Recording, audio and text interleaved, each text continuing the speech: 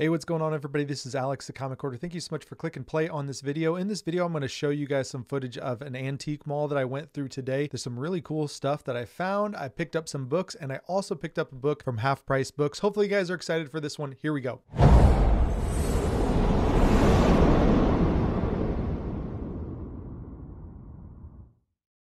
This video is sponsored by the Shortboxed app. It's the easiest and safest way to buy and sell comic books online. They now have raw comic books. There's a link in the description to download the app for both Apple and Android users. So download the app and start shopping or selling today. I was in Indianapolis, Indiana this morning, and in between appointments, I, I went to Half Price Books and I picked up a book there. I'll show that at the end. I want to set up these next few clips which are in Champaign, Illinois, or just outside of Champaign, Illinois, in between Champaign and Danville, which is to the east of Champaign. And it's on 74. There's an antique mall. I've been there before. I know they have a comic book dealer there, but I just wanted to walk around. It's kind of in a U shape. So you just enter the door and walk down one direction, go down and then come back and then you're basically at the counter again. It's not terribly big. It's not super small either, but uh, I know that at the very end there's a comic book dealer and I really enjoy going there. So I'm going to show you guys the footage. I may stop in between some of the clips to show you. And once again,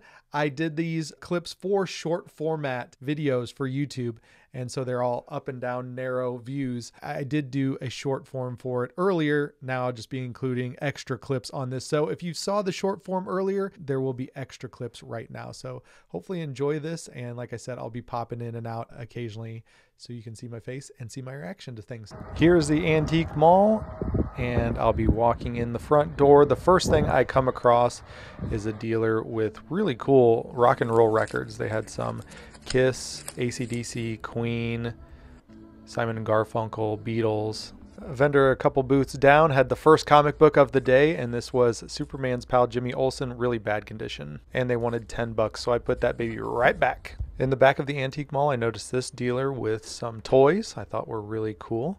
Some nice Star Wars, some Marvel, Turtles, Ultraman, just cool stuff. Hello again. Disclaimer I've been watching a lot of Sam and Colby, which are YouTubers that do paranormal investigations and paranormal videos for YouTube. And they've got millions of followers, millions of subscribers. And this next clip I only recorded because I was kind of, I've been watching them. If you don't like paranormal, if you don't like dolls, if you don't like creepy things or possessed things, then you may want to l- turn away for the next like four or five seconds. I turned around from where the toys were on the shelf to see this bad boy. I didn't even want to look at it. I was even scared to look at it in the eyes. Then I saw this Dick Tracy novel from the early 1940s, opened it up, and I, it was cool to see this buy war bonds and stamps. That was pretty cool. It was eh, only $8.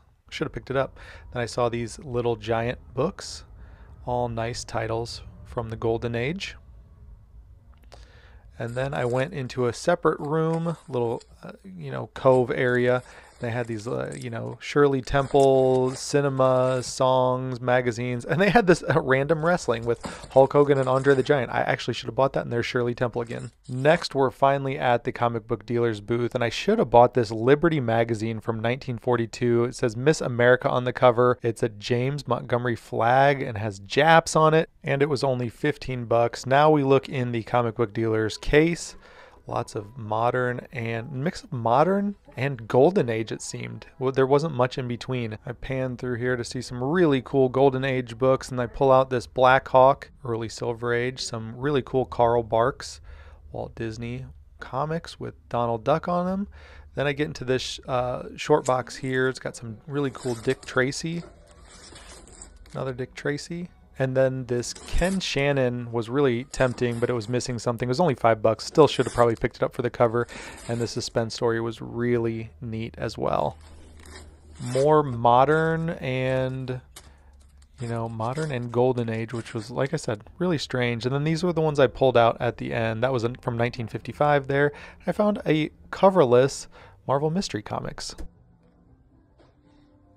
Hopefully you enjoyed that hunting footage. If you did, would you guys hit that thumbs up? It really does help out the channel. I do really appreciate that. If you're also brand new to the channel, hit that subscription button, hit that bell to be notified when there's future videos. Okay, while I was in Indianapolis, I stopped at a half price books in Greenwood, Indiana, and I was looking for omnibus. I was looking for something to read and I found this really cool Golden Age Superman Omnibus Volume 3.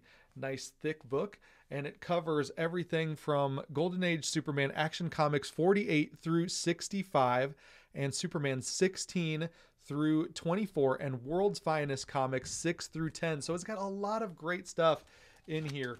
Really cool artwork, really cool pages. This one sounds sounds brand new and, and probably has not been read. But I love just getting these out and just picking a random story and reading them on a Saturday morning with some coffee before anyone wakes up. I don't have to wake up early on Saturdays, but for some reason I always do. My body just naturally wakes up the same time I would wake up for work. So I like wake up at like five something o'clock in the morning on a Saturday morning, probably lay there, check my phone till about six o'clock, go down and have some coffee, pick out one of these things to read. So this will once again go into the archives here of books that I can pick out and read on those Saturday morning where I just get to nerd out and read comic books. Where in the past I was doing Saturday morning cartoons as a kid. Now I'm doing Saturday morning comic book reading. I've got the receipt right here. That omnibus with taxes and everything was $40.11. So I think that's a lot of great reading for $40. All right, as you saw on the video, they had this coverless Marvel Mystery Comics, a timely comic from the late 1940s. This is from October 1948. It's Marvel Mystery Comics number 88. It's got a, an amazing cover to it. So I wish I had a cover. I'm thinking about just like doing a printout of the cover and just putting it on here. But I loved it for the artwork on the inside. And it's got Human Torch, Submariner, They've got Captain America, Blonde Phantom, but it's also got a, a Sun Girl issue in here, which I think the Sun Girl might be incomplete. This the end of the Submariner and beginning of the Sun Girl comic may be incomplete, but the artwork in this is really cool. I'll just pop it open right now to show you guys some of the artwork. It is worth it to me to buy this. So here is the front splash page, back page. Anytime I see Marvel Mystery Comics, I'm like, heck yeah, I'm buying this. So here is some Blonde Phantom. Nice. I mean, I don't have to worry about this. It's coverless. It's not worth anything. Here is some Captain America. I get to read a Captain America story. So the Captain America story is complete. It looks like that's Golden Girl, I believe. It might be Golden Girl. I'm not sure who the sidekick is there. Here's that Sun Girl. Really cool Sun Girl stuff. Submariner. You get so much cool artwork in here for and then here's Sun Girl and Human Torch. Really great. Heck yeah, I'm going to pick this up. And I picked it up. Um, I'm hoping to get like an actual, you know, complete copy with cover and everything like that. But I picked this up just because I couldn't leave it behind. I didn't want to leave it behind. It's 1940s timely. So it's really cool. I might, like I said, put a facsimile type cover or a color copy cover on top of this and just call it a day. Just really cool. It's it's one of those nice things where this is worth buying because I can just open it up, flip through, and not have to worry about a single thing. And this is always desirable. Somebody will always want this to do the same thing that I'm doing. So if for some reason I want to pass it on in the future, someone else will be interested in buying this from me. All right. I also picked up this Dick Tracy. I did some spine roll correction on it when I got home.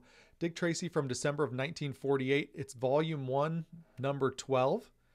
I thought, this was really cool.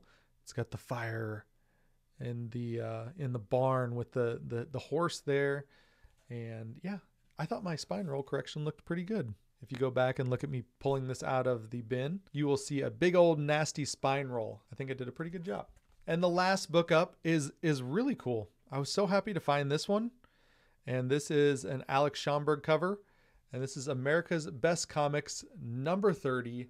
This is from 1949. It's complete. It's got some you know, cuts here. It's attached at both staples. It's got a rip right here, but you've got Miss Masque and you've got Black Terror teaming up to take out these criminals. And I love it. Can't go wrong with this. There it is. Really nice. I flipped through this earlier, did a little bit of a spine roll correction on this. I didn't want to chance it too much because I didn't want to tear off this piece that is actually attached to the front and back cover. So I just kind of did what I could. It is much better than what it was. So if you go back, you know, professionals will do way better than me. I think I did okay. And if you go back and look at this in the footage, the hunting footage, you'll know that, you know, it looks much better than what it did. And it, the back lines up much better. So there it is. Nice Alex Schomburg, America's Best Comics number 30, Miss Masque, and Black Terror from 1949. Yep, absolutely love it. Thank you guys so much for watching. Once again, if you're brand new to the channel, hit that subscription button, hit that bell to be notified when there's future videos. I should have a video out very soon again um, in the next couple days. Be looking forward to that, and I will talk to you all on the next one. See you. Bye.